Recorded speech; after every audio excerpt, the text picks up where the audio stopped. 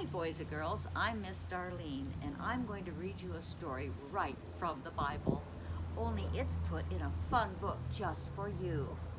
Always Near Me by Susie Poole. If you look in your mommy and daddy's Bible, you'll see Psalm 139, and you'll hear just what it says. Shall we see what it says? Let's look. On page one. Jesus, you know me so well. You see my heart. Isn't it wonderful that Jesus sees right inside of you? You know when I sit down and when I stand up. You know my thoughts before I even think them.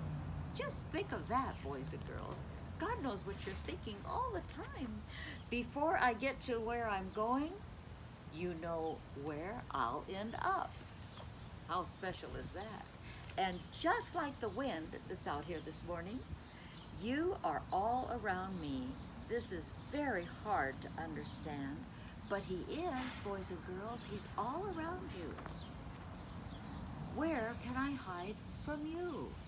Why, if I would journey into space, you are there.